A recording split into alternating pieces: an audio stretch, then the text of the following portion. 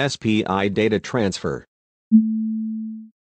The diagram shows a setup for SPI data transfer between a master device and a slave. This line is called MOSI, or Master Out, Slave In.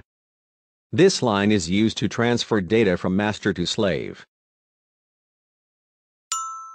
This is MISO. Master in, slave out. This line is used to transfer data from slave to master. SCK is the clock signal.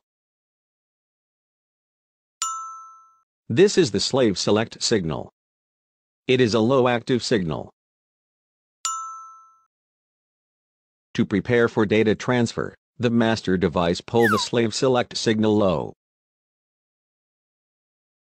Data transfer is automatically started by transferring data to the SPI data register.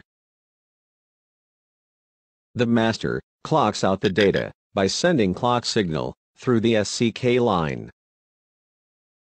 One bit of data is exchanged. The master sends the second clock. Another bit of data is exchanged.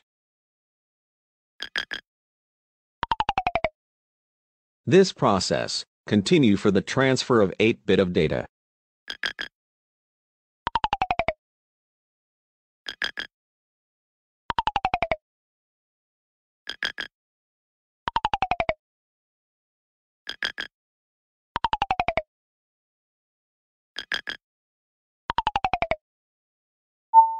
After 8 clocks, the transfer is complete.